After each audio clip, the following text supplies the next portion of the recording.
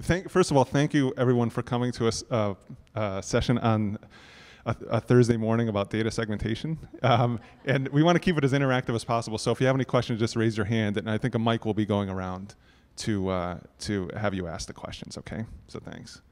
All right. So what are we going to talk about? We're going to talk about what what is da- data segmentation and why do we care about it.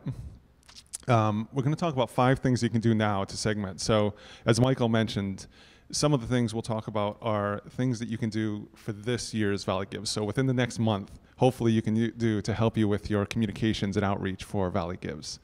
And then we'll talk about um, realizing that a lot of the work you do with your database is really long term and ongoing. What are five things that you should be doing thinking about next year's Valley Gives and all your other development work? Then we'll talk about the tenet of know your donors and how your database can help with that. And then finally, what are you going to do after Valley Gives? What are the things you should be doing regarding your, your fundraising and your, your database specifically after Valley Gives to be successful this year and, and in the future? Okay, so who can tell me who said this? Whose quote is this? well, for all those whoever who said nobody ever, you're right. So we we really um, we do like Michael said. We find this is an important topic. It's not the most exciting topic, um, and your database is often pretty invisible. But we want to bring it, bring it, get it more visibility because, frankly, for both online and offline fundraising, a strong database is really important for effective for your effective fundraising. So hopefully we'll keep it interesting and also you, it'll help you in the long term. Okay, so we just quickly wanted to learn a little bit about who's in the room in terms of the da- your data use. So if anybody, does anybody here work or maybe you're a board member or you're a staff member at a uh, nonprofit who uh, does not have a donor database specifically for your donors, gifts, pledges? No, so there's a few. So for those people that just raised your hand, maybe just shout out, and I can repeat it. Um, what what are you using for managing that data, if anything at all? Anybody? Excel or shoeboxes? okay. and um, and then for anybody who didn't raise their hand, um, maybe shout out a few. What databases are you using right now? What's that? Donors now? Oh, Donor Snap. Okay. Any other one? Razor's Edge. What was that one? Arts People. Ooh, I don't know that one. a lot of Google Docs and Excel. Okay. Neon. That's right. E Tapestry. Donor Perfect. Okay, great. And by the way, if you're using one of the systems that one of these other people just mentioned, connect with them because you can learn from each other. You know, other people might be having similar issues, or maybe they've solved an issue that you're having. So, um, so reach out to those people. All right, then, and probably even more important question is, you know, you, you know, for the people who don't have anything, or you're using Excel, all the way to people using Razor's Edge or eTapestry or Neon or any of these systems, how effective is it for you? Are you actually getting, is it actually helping you do your fundraising? So on a scale of one to 10, where 10 is everything I need, I get on my database, and one is a dumpster fire, think about where you stand. Is your system helping you? Um, so maybe just a quick show of hands. How many people have, say, an 8 to 10? So it's really working pretty well for you. Oh, that's pretty good. So there's a couple, there's a few. How about like 5 to 7? All right, probably more, more in that area. Then 3 or 4? A few. And how about, so 1 to 2? No, that's good. Okay, so not too many at the at the real low end, but you can see, and this is true for I find this at most organizations. Very few are in that eight to ten. Although it's good that some are. You, if you saw those people, you should talk to them afterwards. Um, but hopefully, we're hoping that, the, like Michael said, that they'll be learning it here for you whether your system is working well for you. You can make it work a little better, or maybe you don't have a system. You're just using Excel, and um, you should be able to pick up some tips for that as well. Okay. All right, so, and, and again, just a reminder so we're, we're going to talk first about uh, Valley Gives, about getting ready for this year's Valley Gives. Um, and then later, we're going to talk a little bit about things for long term. Okay, so segmentation. What is it? Why do we care? So se- data segmentation allows you to more efficiently communicate to your, your entire database. So all of your potential prospects, your donors, anybody else that you want to communicate with who could potentially be cultivated for a gift. And it allows you to do it in a way where you can customize those messages for those different groups. Um, so whether it's an ev- event invitation, whether it's an appeal letter, whether it's an e-newsletter, sending out the right information to the right people. Data segmentation can allow you to do that in a, um, in a way that's efficient. So for example, I worked with this camp, Camp JCA Shalom in Malibu a few years ago, and this is from, I think this is about five years ago now. Um, they sent out appeal letters to all different groups. So you can see this one is to past annual, past annual campaign donors. This one is to alumni from the camp who have never given a gift. And this one is to LIBUNTs. We'll talk about LIBUNTs later. But if you look at each one of these, the story, the little testimonial at the top is different, and even the messaging that they put in is different for each one. Um, and the idea was they segmented their database and they thought which of these messaging, which of this messaging will resonate with this particular group. So the alumni who have never given will get a certain kind of message, probably evoking their nostalgia for camp. The people who are past annual campaign donors will probably get some kind of more thank you for helping us in the past, and here's the impact you've had. But you can make the message focused on who the audience is. Anybody have any questions about that? Okay.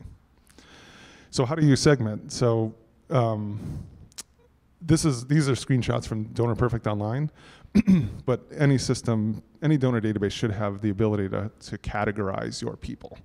Um, and this is the easiest way to segment. There's other ways, which we'll talk about in a minute, but you can see, like here, you could segment whether it's a board member, an alumni, if it's a camp. Um, I work with a lot of camps, so you're going to see some camp examples throughout this. Um, whether they're staff members, et cetera. And so you can categorize that. You can also, and this over here is how you actually create new flags. They call them flags in Donor Perfect.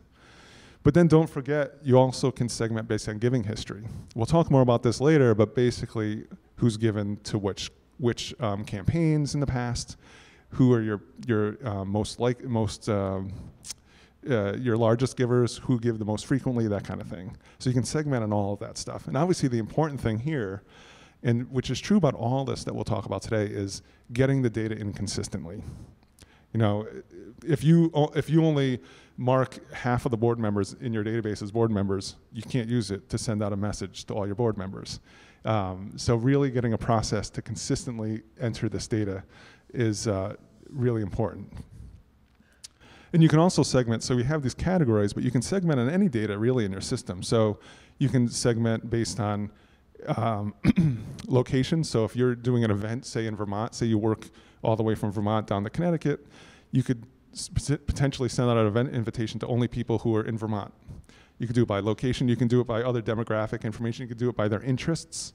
You can do it by their capacity to give. If you do some prospect researching work, prospect research work, basically any data in the system can be used to segment your database. The key again is to to use it consistently. If you're not filling that information in for everyone, then eventually your segments aren't going to work. You're not going to be able to reach everybody that you want to. Okay. And then uh, also, when you're thinking about segmenting, we wanted to, Eric and I talked about this, we want to talk about, you know, don't forget your total relationship with someone or your their total lifetime giving. So maybe somebody's not a major donor, maybe they haven't given thousands of dollars, but they um, give every year, even if they're small gifts, or they're table captains at your event, at some event, or they're peer-to-peer fundraisers. I know Valley Gives has a peer-to-peer uh, um, option. People who actually create, spend the time, create the page, send out emails to their friends, tell it about them on Facebook. Clearly, they have a, a passion for your organization, and you might want to segment them out and communicate them with them separately. Um, I know uh, a friend of mine, Deborah Escanese, was here uh, a couple of months ago talking about matterness.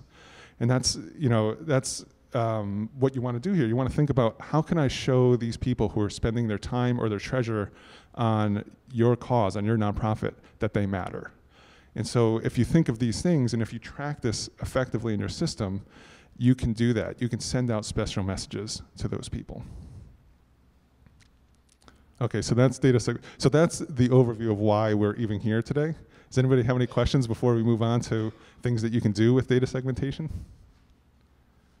Okay. All right, so again, this first set is things that you can do right now to help you with segmenting, whether it's your emails, whether it's direct, um, direct mail appeals, any kind of direct mail, um, uh, event invitations, et cetera, right now. So the first is an easy one. So you can sort by total giving. You know, you may want to, going back to the matterness idea, the people who have given the most to your organization, you want to show them somehow that your your your your gratitude for what they've done. Um, and if you sort just sort by total giving, it's just an easy one. Even if you're using Excel, that should be a relatively easy one to pull and say, are these the people who have given the most historically? Maybe they get a special invitation to something. Maybe they get a special thank you during the year, that kind of thing. Or maybe they get a special uh, invitation or information about um, about uh, Valley Gives. Yeah, Eric. I'll throw one, one quick thing into this. So, um, I give monthly to a lot of people that I give to. And the other day I got a receipt from Wikimedia Foundation saying, thank you for being a $5 donor. And I was like, I am not a $5 donor to you, Wikimedia. From the very first time you asked me for money, I've given $5 or $10 every month for the last eight years. Total giving acknowledges the breadth of who I am in terms of my overall support. And I think that's a key thing. Um, I work with an organization we recently sorted by total giving. And when, when Kevin gets to the people who've lapsed as donors, you can have someone who used to give you $5,000 for several years and then it went down to 1000 for whatever reason. And if you only do annual sort, you do not see this.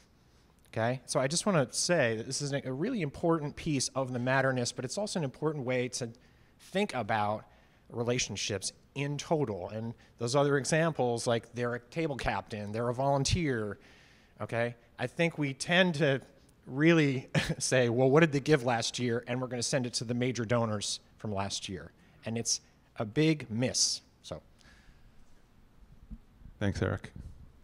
Um, and actually, that's a good segue into the next thing, which is sort by total number of lifetime gifts. So, like uh, Eric's uh, Wikipedia, Wikipedia example, somebody who's given you know every month for six years or every year for 10 years even if they're smaller gifts those people have shown a big commitment to your organization and if how many people just by show of hands have a plan giving program where you try to get money for um, and uh, yep, a bunch so a lot of people to get money for you, to people to put to give you money in their will. Um, these people, in addition to the major donors, these people who have given every year consistently, even if small gifts, are really good candidates for uh, plan giving as well because maybe they don't have a lot of money to give right now, but they be willing, they have a passion for your organization, they're committed to it, so they might be willing to put you, um, include you in their will. But even for Valley Gives right now, people who are giving regularly are a good, um, like Eric was saying, there are people who will probably, if you ask them to give to Valley Gives, if you tell them what the, what the, um, what the campaign is, they'll probably give. All right, the next is LIBUNTs or SIBUNTs. Who knows what LIBUNT or SIBUNT means? That's right. I, did, I didn't see who said that, but last year, but unfortunately not, gave last year, but unfortunately not this year. And SIBUNT is gave some year in the past, but unfortunately haven't given yet this year. Um, and so why that's important is, well, one, you can run reports. Your system should be able to create a report for you that um, shows you all the LIBUNTs or SIBUNTs. And what's important is that these people are the most likely people to give if asked. You know, they've already shown that they're interested in your organization. They've given. So you want to make sure you pull that list out and give them and ask them. So if you have some LIBUNTs, um, you definitely pull that list and you can pull that for Valley Gives this year. And then even more specifically for Valley Gives is what if you go back and see who actually supported your organization? If you were involved in Valley Gives last time, in December 10th, 2014, the people who gave then are very likely to give again this year. So if you can go back and pull that list, um, ideally you mark them as, a, as that they gave the Valley Gives, then it's very easy to pull that list. If you didn't, you can also just go back to your database and look for December 10th, 2014. People who gave that day probably give, gave via Valley Gives. And if, you, and if let's say you don't even have that information in your database. Or you went to the, came to the organization later and you don't have any of those, that giving information. Um, if you were in Valley Gives, Razoo, you can go back up to Razoo and pull down all of that history. So you can go up to Razoo and find any of those Valley Gives gifts from 2014 and pull that. And again, once you have that list, those are a good candidates. You can thank them for giving, supporting you in Valley Gives last time and remind them that you have this campaign coming up again. Yeah, sure, Michael. Just in terms of the, the matterness um, idea, one can send out a message that is acknowledging, in, in this case with Valley Gives, that they actually participated and gave money. And so it's an extra step saying, we know that you participated in Valley Gives, and we're asking you again this time, which is a deeper message than sort of just doing the blanket, Valley Gives it's important to us, et cetera, et cetera, which is not a bad and alienating message, but one takes it a little bit farther. So it's just a, a concrete example of why acknowledging that you've had a relationship and they've invested in the campaign prior is helpful. Thanks, Michael. Okay, so now the fifth thing um, is really just an excuse to have a cute picture of animals. Um, but so demographics. Um, let's say you're an animal shelter, and you know in your database that certain people are cat lovers and certain are dog lovers. Don't you think it would be um, wouldn't it resonate more if you sent the cat lovers a story about a cat that was rescued, a picture of a cat or a video, and, this, and the same for dog lovers. Um, and for any cause, it could be something like, um, let's say your program has multiple, your organization has multiple different types of programs. Maybe you have an elder care program and a literacy program.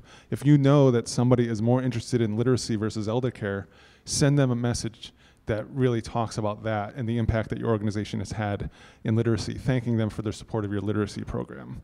So thinking through their interests, this probably should say demographics and interests, but thinking through what they're interested in and how they connect with you can help you segment and send messages that are really make more sense to them and might connect with them better.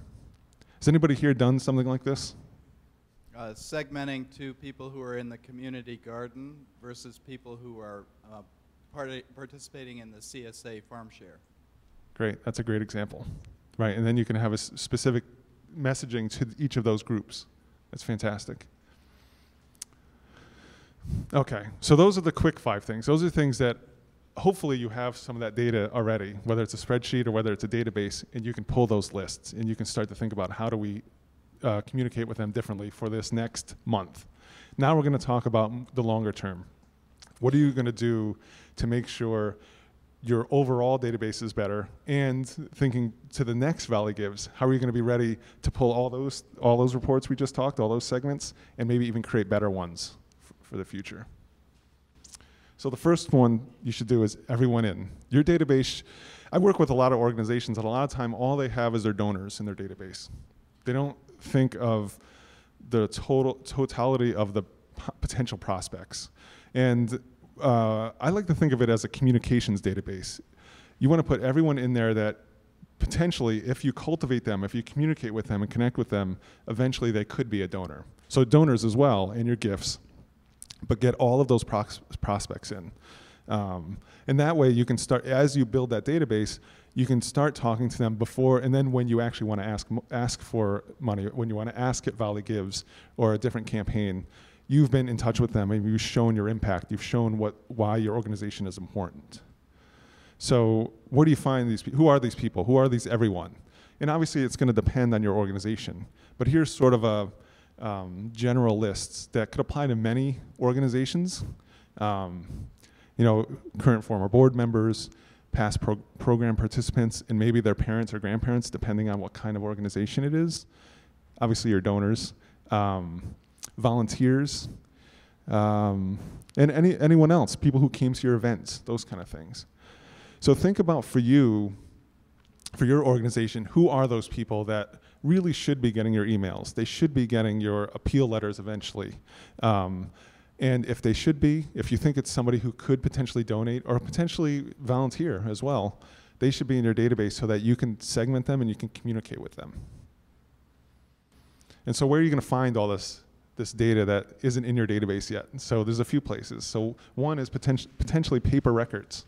Do you have old paper records um, of past events or past program participants or past donors. Make sure, especially donors, if you have gifts, gift records somewhere, make sure that stuff gets entered into your database. Um, does anybody have an example of this in your organization where you know there's like a pile of paper somewhere that really should be in your database, but just you've never gotten around to it? That's good. yeah, th- this.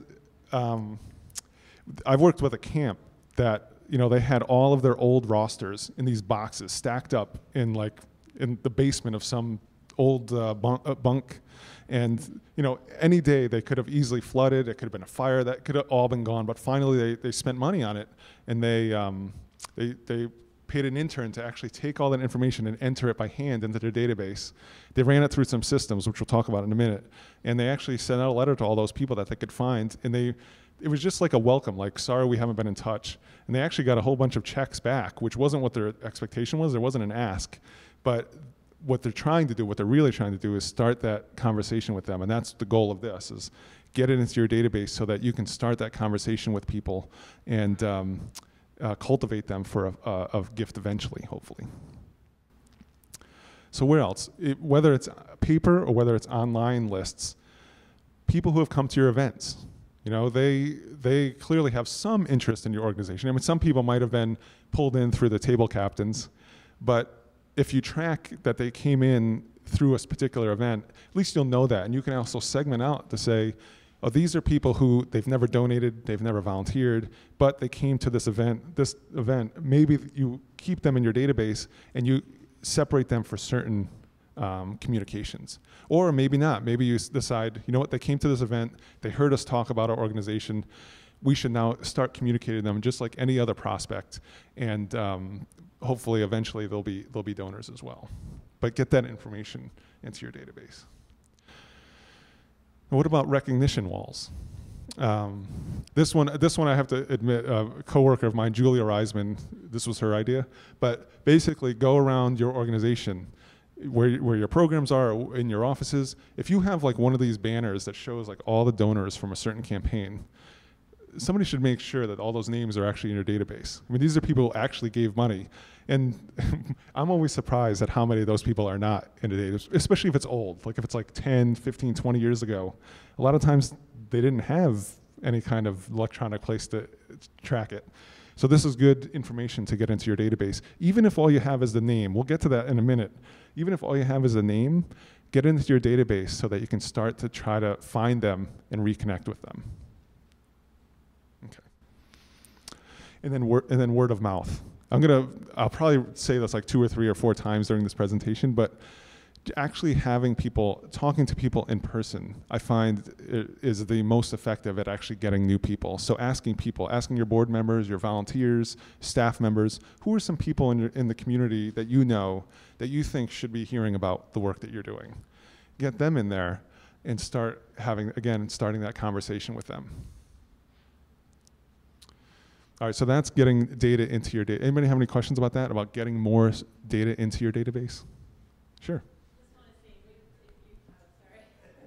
I just want to say if you do dance on the street for donations um, and people put money in the jar, then you don't get names. And I can think of hundreds of people I just saw in March whose names I don't have who gave cash.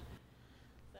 That, that's interesting. Yeah. I mean, and you're right. You're not going to get all of them. They might not, they might not even want to give their name, but maybe think about like wherever that have a little list or have something where they can enter it, or maybe have like say, oh, we have a video of this musician.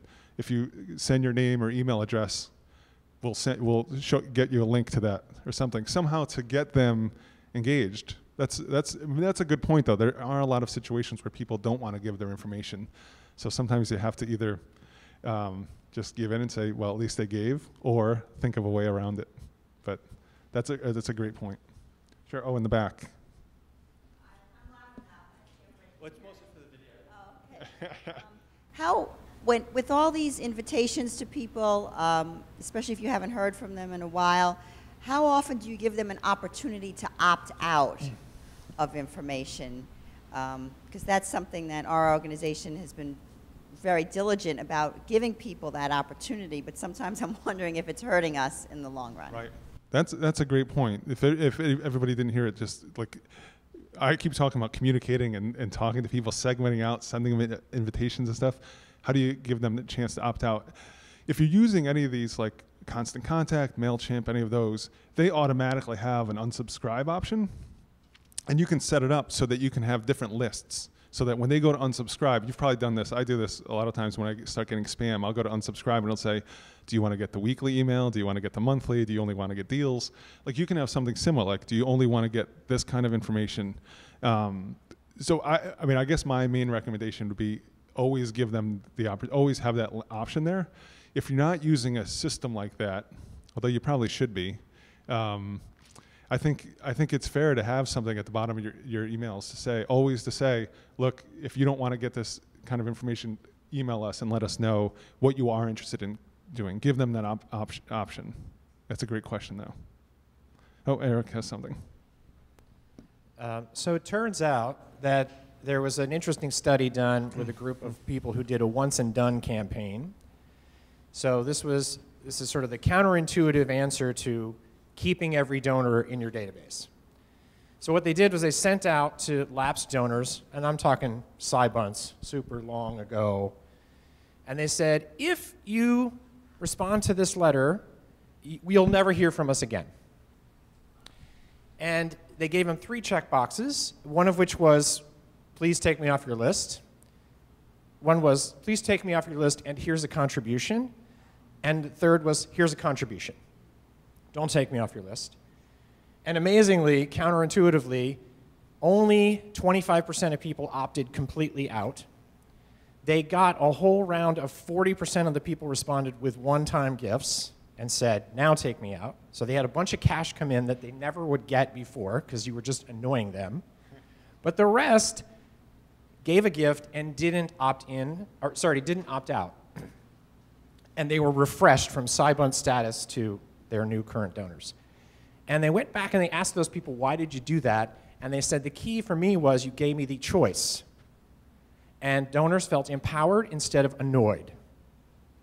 So I just want to, now, this is not a Valley Gives strategy, just, you know, right now, let me just say. But it's an interesting one. This came out of the Freakonomics guys, a guy named uh, Gneezy, Uri Gneezy, and he's one of the sort of Freakonomics quoted all the time. He wrote a book called The Why Axis, and this is in there. They did it with 115,000 donors. So this is a broad spectrum of, um, and, and the other side is if you do clean out your list, you clean it out. You stop bugging them, you stop mailing them, you stop the expense of it. I don't know how many envelopes you stop stuffing, but this is a way to win and then to really cultivate the people who opted in. Now, I say that again, it's not a Valley Gives, and, and I think it's a question mark for a lot of people. Why would you do that?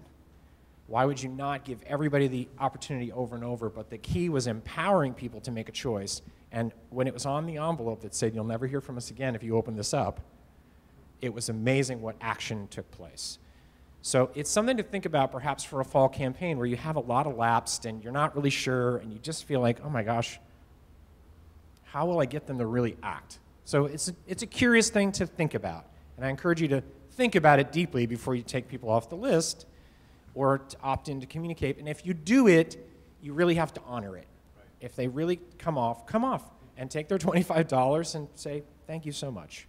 So That's great, thanks. And and that's that's a great point. Bringing it back to database, is if people opt out, really marking them as do not mail, and there's usually a do not mail reason, or you can add it to specify that you know they opt out from this campaign or something, and, and specifically telling them, telling everyone who's in your organization to know the reason this person isn't getting shouldn't be getting mails is because of whatever it is. Okay, so so that's getting all the data in, and obviously that's an ongoing process. You're going to continue to do that as you have events, as you have donors, as you meet people, as you have new staff and board members. You're going to continue to add them to your database, but as, in addition, you're going to want to clean it up. So, like earlier, I talked about um, just taking those names off the wall, right? They're not really useful until you actually can contact them in some way, and that's where the cleaning your data comes in. So how are you going to do that? So as I mentioned before, the, the, the easiest, the best way is asking. So ask your, again, ask your board members, ask your volunteers, ask your staff. Do they know these people? If you have a list of people who their mail keeps getting sent back you know, you don't have their updated email address, you don't have their updated mailing address, you have a name, you have no idea who they are, ask those people, show them lists, bring it to the board board, and say, can you help us relocate these people? We've lost them. We, they're, they're donors, they're interested in us, but we don't know how to find them. And we find that a lot of the work that we do, that this, although probably the most time consuming and the most painful, is also the most effective. You'll find the most updated information by just asking people. There's also functionality in your system to help clean it up. So like this is in DPO, this is Donor Perfect Online, uh, duplicate removal functionality. Um, we're going to get to know, know your donors later, but a big part of that is making sure there's just one record for every of your donors or prospects in the system so that when you look at that record, you see everything. You see all of their donations, you see all of their, um, their interactions with your organizations, any events they've attended, any of the stuff that you're tracking, you want it in one place. So um, you should have a regular process for actually going through and merging, finding and merging any duplicates that show up in your system. Question when they, about when a, a couple donates, and you know, then 10 years later, they're no longer a couple, but one is donating and the other one isn't, or they both are. What, how do you handle that kind of thing? That's a great question. And managing couples in your system is sort of a, a, a whole other, it's like a, it's a much bigger question, really. Um, and some people, some people do it where they have one record, where the couple is one, one record, until they get divorced or they get you know separated then maybe you separate it out. But as when they're as a couple if they mostly give as a couple they have them as one record and then all the gifts are associated with that record. Other people um, want to you know going back to the segmentation they want to be able to send out segmented communications to each of them. Like maybe one partner is really interested in literacy pro program and the other one is more interested in the elder program. You want to be able to uh, do that. And so if you have them separate the key thing is that when a gift gets given, that you make sure, in most systems it's called a soft credit, but you make sure the gift is on both records. So that you, like in Donor Perfect Online, it's called a soft credit. You put the gift on one of their records and then you soft credit it to the other one so that when you look at both of the records, you see their total giving. Um, but that's, excuse me. Sorry, everybody in my house is sick and I think I'm getting it right now. Um, but that's a that's a great uh, question, and it, really goes to uh, something we're going to talk about later. Is really figuring out your standards and your process for how you manage those kind of questions, how you manage your data in your system, and as long as you do it consistently, there's not really a wrong answer. You just have to make sure you do it the same for everybody, so that when everybody looks in that system, they know how to find that kind of information. Oh, thank you. oh, question here. Hi, thanks. Relative to what you were just saying, I mean, have do you suggest? Because one of the things that as I'm navigating, we we migrated some of our data, and then are also trying to so go back and comb through and see all the inconsistencies of you know however many years of different people deciding oh like oh this is the way it's going to work for our organization um, do you suggest organizations keep a, like a data log, and then how do we do that as an, an understaffed nonprofit organization? I mean, if you have any kind of tips on how to make uh, make those systems and keep those systems so that different people coming in are uh, helping to get the consistency there, as opposed to making it more scattered. Right, right. I mean, that's that's a great question, and it's it's not easy. I mean, there's no easy answer to that question. It really and that's going to be one of the recommendations in a minute, but it's creating those standards, writing them down, and making sure everybody knows them. Like if you can get it into one page to say, this is how we enter a person, this is the things that you have to enter, and this is how we format it. Like the, the name that goes on the envelope, we have a field for that, and this is how you do it. It's always Mr. and Mrs. Kevin Martone, or it's always Kevin, Martone, Kevin and Dre Martone. Like you decide how you want to do it and have it documented and make sure everybody who touches that system has that sheet and is trained on it. Um, that said, like your your initial part of you know you've got all this old data that's in different standards. There's again, there's really no easy. A lot of times, what I usually recommend is exporting all that data out into a spreadsheet and having somebody clean it up in a spreadsheet and re-importing it. Like I find that's the easiest, but it's still. I mean, clearly, uh, I don't know. I don't think anybody here is going to say, "Oh, that sounds like a fun project," but maybe you can do it watching TV or something because it's kind of a, a monotonous task. But there's not much else. But it's basically. But you first have to have those standards so you know whoever's doing that process cleans it up in the right way going forward. That's a good question. Okay, so you know, you, you've done your person to person, you've done other, you've found all these paper records, put them in your database, you've um, removed duplicates. What else can you do? And what we usually recommend, only as a last step, is using these various technologies and systems that can help you find uh, updated contact information. So the NCOA, it stands for National Change of Address National Change of Address Database um, from the United from the USPS. So the Postal Service, every time you move, when you um, hand in that postcard to say, "Oh, forward my mail," the Postal Service tracks that, and they have a database that goes back. I think it's four four years. And so, if you submit your data to one of these NCOA services, it checks your your address, and if that person moved from that address to a new one, it'll come back and tell you, "Oh, this is the new address." Um, and you're right. So, in when you do a bulk mailing, and the important thing about it is when you do, if you want to do your mailings in bulk at the nonprofit rate, you have to have run your data through some kind of NCOA system within 95 days of that, 95 days before that mailing. So it's it's helpful in terms of getting the right people, so the right to people actually get that mailing, but also it might save you money. Um, so that's one. That's one that definitely recommend running. And again, because you have to do it within 95 days if you're going to get that bulk mailing, it's something that you should do on a somewhat regular basis. Um, definitely before any of your big mailings. Um, but then there's also other tools like uh, Alumni Finder, which is listed here. And Alumni Finder is similar to NCOA, except they they claim to go back even farther. And what they kind they do a lot of different things. And there's other systems like Alumni Finder out there. They're not the only one but they basically overlay like NCOA over itself going back so you can get like up to like six moves if people kept handing in those postcards. Um, and they get their data from other sources as well. But basically, it allows you to find really long lost um, addresses. Uh, we've used them, and they are uh, effective, but it's I mean, if you expect more than say 10% of your database to come back with, especially if you have really old addresses that you found through some old paper records that were in some attic, you're not going to get a huge result. That's why we always say this is like the last step if you do all the other things. But we have had some success getting, you know, 10, 15% of a database get updated or at least confirmed addresses. You have a question? Okay. Uh, so the question was how much do they cost? NCOA, if I remember, it depends on the provider, but it's only a couple hundred dollars usually to run that. Each time, yeah, yeah, and it depends. So you could look around at different vendors, and sometimes your your donor database might have a, a, a NCOA process that they can use that um, you don't even have to export the data or anything. They can just do it right in your database. Before, for both of these points, before you go and find a separate vendor, make sure that whoever you're doing your mailing isn't already doing it for you. You don't want to pay for it if you don't need to. Um, and then Alumni Finder services like that, the costs vary, but um, it's usually like 30 cents a record that they check. And, and you're going to pay for any record that they check and comes back confirmed. So keep that in mind. Like it could get relatively pricey if you have a big database.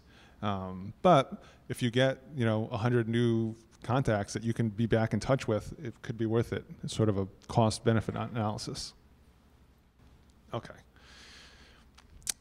So, you know, we, going back to this picture, you know, we talked about the, that animal shelter example now in the long term, you know, right now maybe you don't have that. Maybe you don't really have tracked in your system that you know this person is interested in, in literacy, this person is interested in elder care.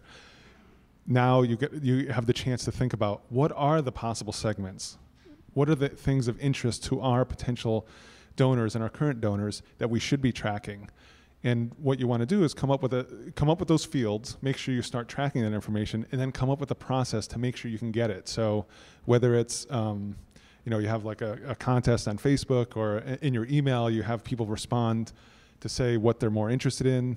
Um, whether on the donation form, maybe it specifically says, or maybe you just track it based on what they're giving to or what events they came from. But basically, figure out what the process is to figure to to to maintain and track that information so that you can do this kind of segmentation in the future.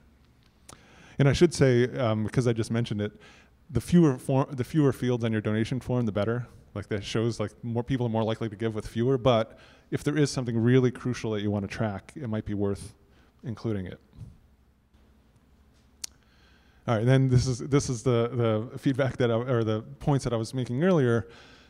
Document those standards. Create create as a as an organization decide what are the data standards. How is each field going to be used? What what categories do you want to track? What fields do you want to track for segments? And how are you going to actually enter it consistently so that when you run your mass mailing, the, the names on the address card are all the same. The addresses are all consistent, that kind of thing. And again, document it and make sure everybody has it. Anybody who's touching that system should know when they enter a new donor what they do. When they enter a gift, which campaign does it get tracked to? Which uh, fund is it going to? Because if you don't have the data coming in clean, then all of your reports, all your segmentation is going to be off. And then the last piece is related to that training staff. Anybody who touches your database should really be trained in it, um, whether it's you know, some systems have live training that you could pay for. Some have webinars or videos that you can watch. But I see so many uh, organizations where they don't want to spend the money or the time up front on this, but it's really crucial. If you want to make sure your data stays clean, really want to make sure anybody who's going to touch that data gets trained. And part of it could be getting trained from uh, someone else at the office. You know, somebody else who's already using it can say, all right, these are the, here's the data standards. Here's this sheet of paper that we created that tells you how to do it. Let's, let me walk you through it. It can, at least, it can be as simple as that, but making sure everybody gets at least that minimum training is really important. No question.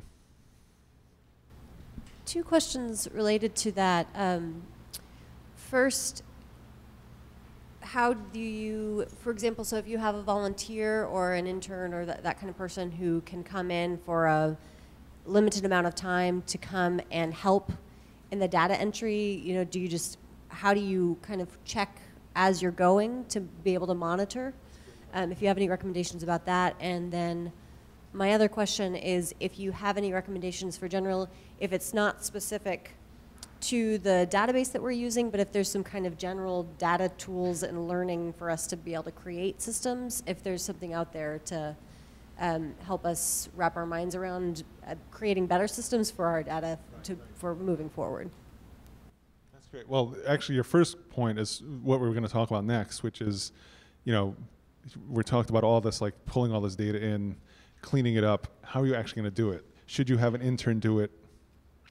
um, should you pay someone? Is it worth the money to pay someone to come in and type all these records in and do the cleanup?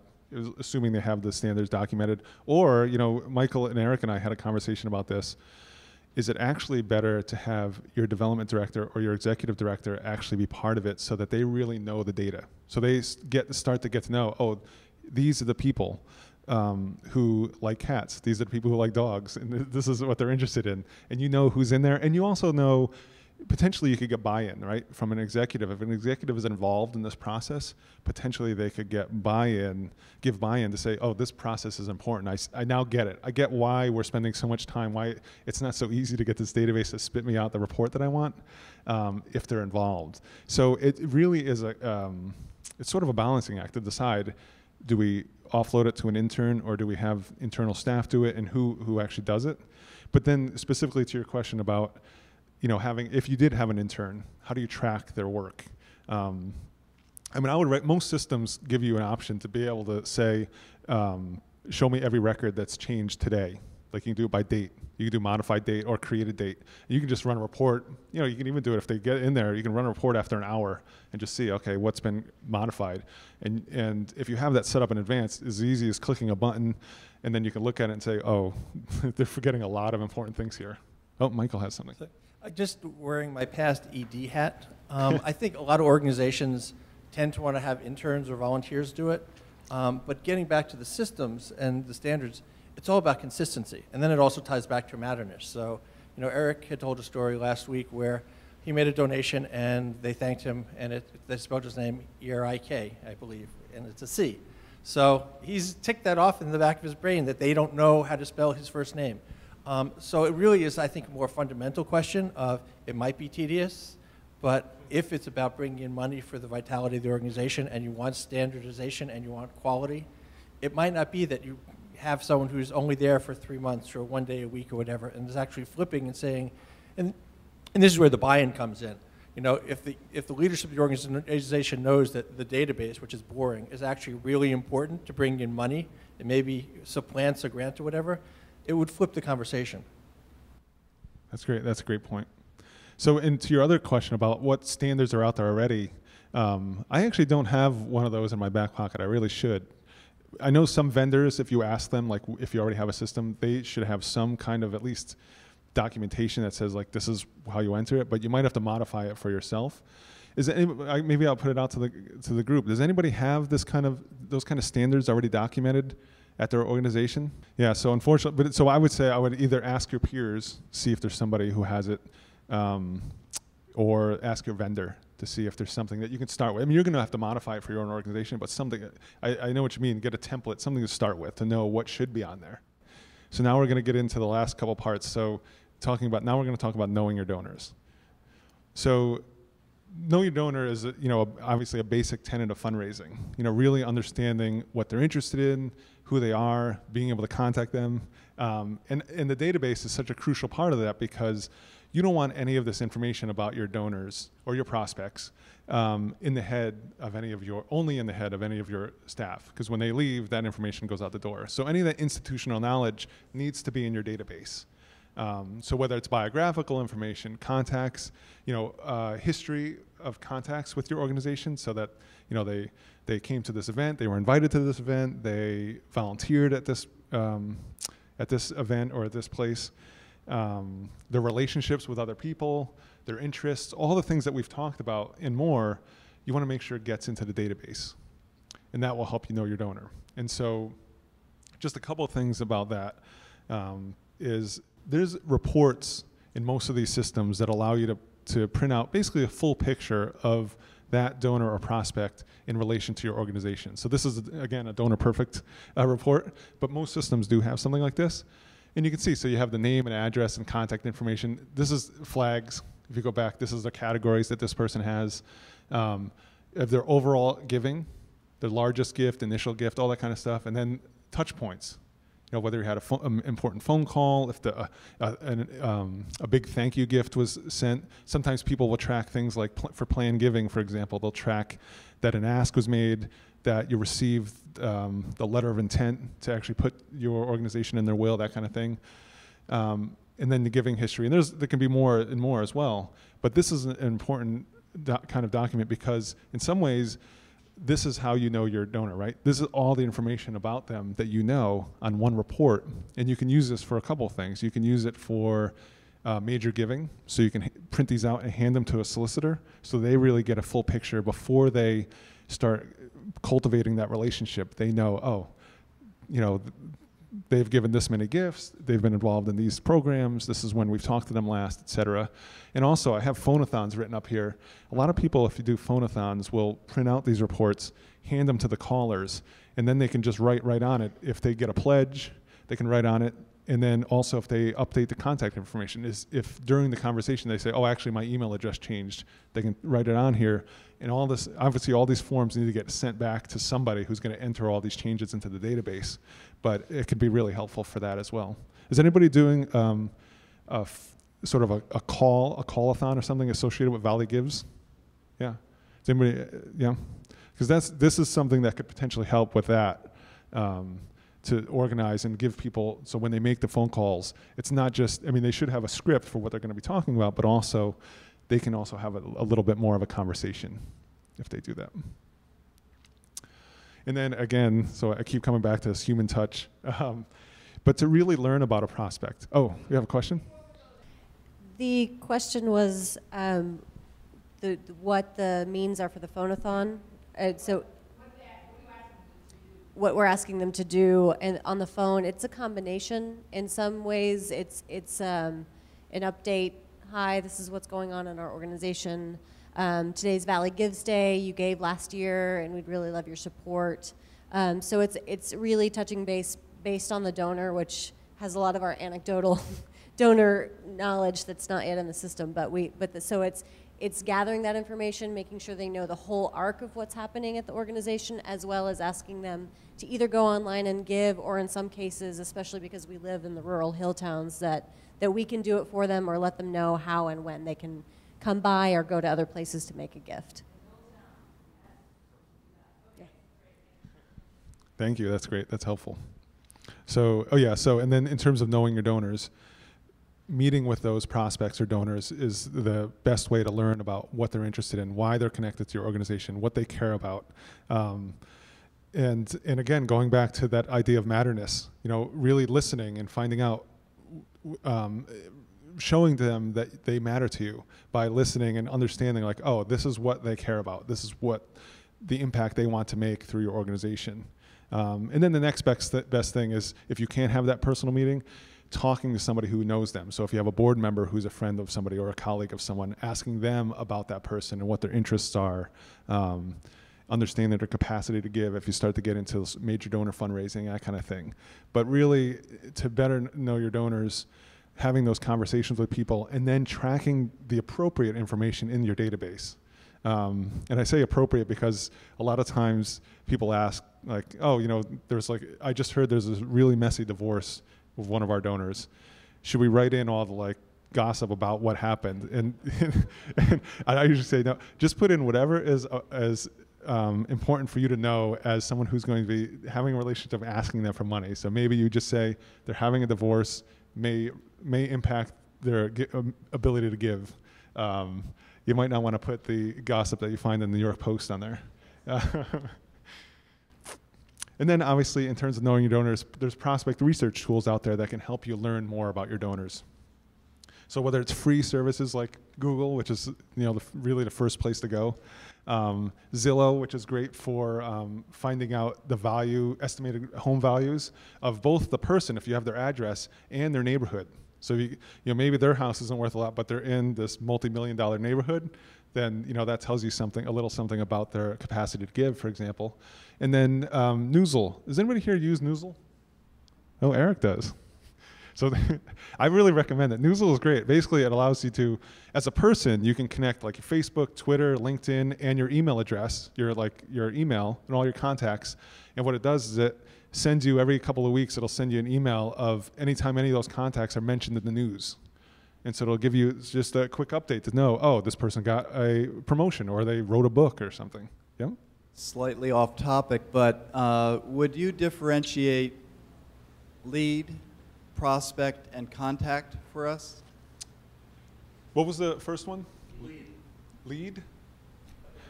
Uh, okay. Um, so lead, I don't know that I, I don't usually use lead like except in sales. Like I don't think I would use, I don't know if Eric wants to talk about it, but I would say pro, for me a prospect is someone who hasn't given yet versus a donor has given. And both of them are still prospects, right, for future gifts. Um, to me, a lead is just a prospect. In, in fundraising, a lead is just a prospect. So anybody that potentially could be a donor, I think is is a prospect. And so if somebody talks about a lead, they're probably ta- I would call that a prospect. Yeah. It, would you add anything, Eric? Okay. Salesforce, sorry. Salesforce uses the title lead. Yeah. And that's right. So we use prospect in sales. They're called leads. Some people might make a small distinction, which is a lead is getting closer to making a gift. You've had three engagements, or as opposed to literally their way out there. That might have more to do with ranking your prospects, but I think it's a, a distinction without a difference. Right. Great. But good question. Thank you.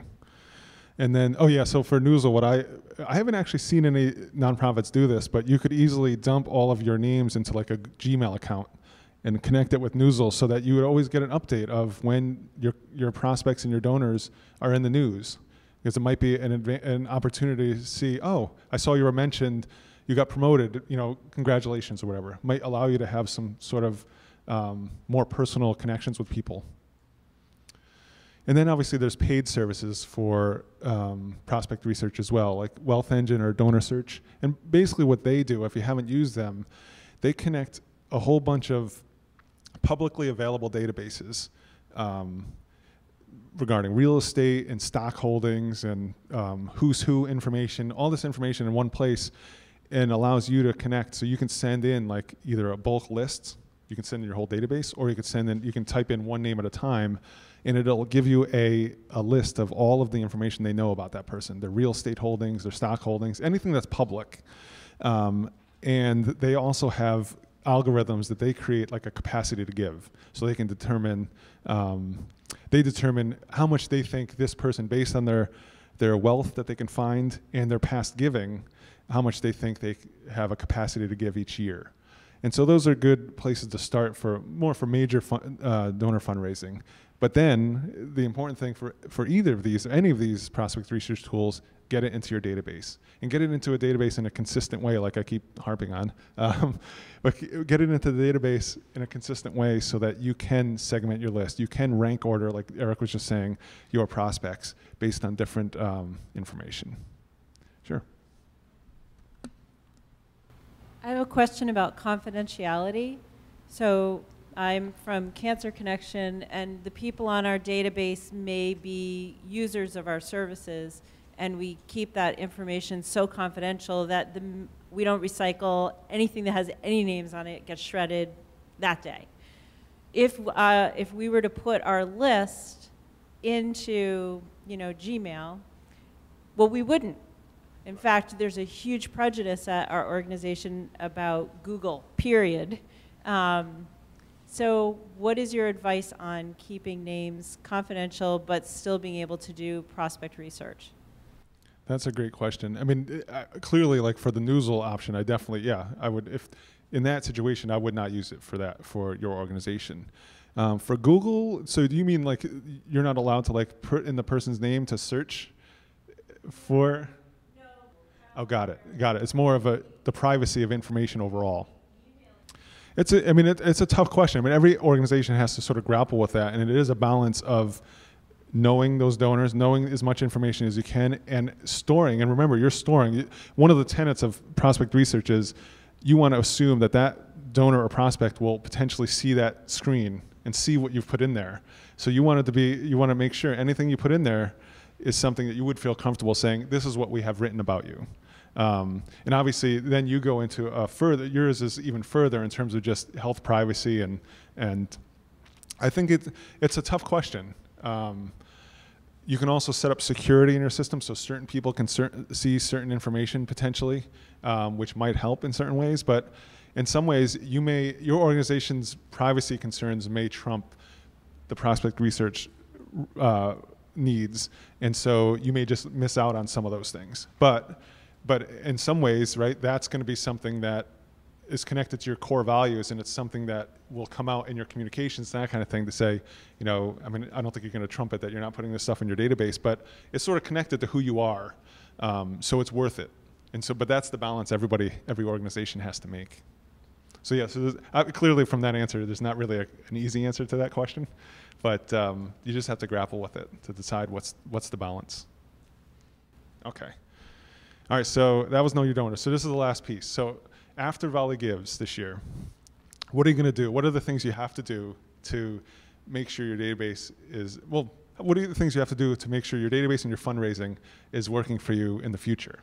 So the first one is obviously thank you donors. Um, this seems obvious, but um, make sure they get a, a, special thank you for giving, and maybe you want, even want to create, if you haven't already, create a special thank you email about Valley Gives and about what the impact of your the gifts um, from Valley Gives are going to be doing in your organization, um, and to tell them that they're a part of that. But obviously, clearly, thanking them is the first step to making this whole thing work.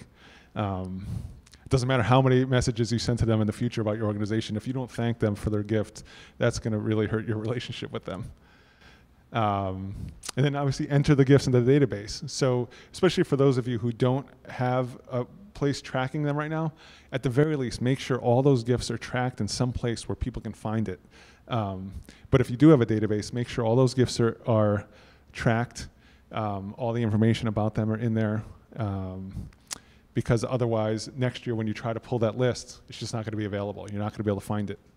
And then specifically, you want to track those gifts as Valley Gives. So earlier I talked about you can go and get the stuff from Razoo, but you really want to make sure when you look in your database, you know, know, going back to know your donor, you want to be able to see, oh, this person participated in Valley Gives, and this is how much they gave. Um, so you can track it, whether it's the campaign, whether it's the solicitation. You can decide how you want to track it, but make sure that you can easily pull a list of any gift that came in through Valley Gives. And then obviously, uh, data maintenance, it's an ongoing process. So you want to make sure you have just one database. So um, you don't want to be tracking, like we talked about before, your events lists, your people who register for events. Get them into your database. You don't want to be tracking them in different places. You don't want your gifts in Razoo and some gifts in your database. Everything should end up in your database so that you can get that full picture. Um, if you have like a website form where you ask people to sign up for your e-newsletter or submit other information, make sure there's a process to get that information into your database um, uh, regularly. And then if you have, so like, uh, like I said, I work with camps. They have a totally different system for camper registration.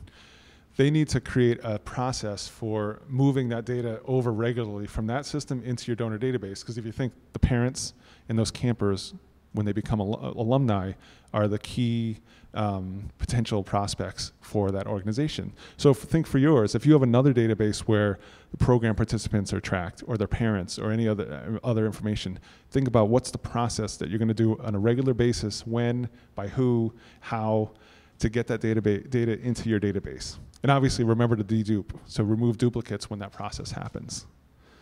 Um, we talked about this already. Create that standard consistent process for entering your data, document it, um, make sure that everybody who's using it is trained in using it and using your system. And that's it. So thank you for uh, being here.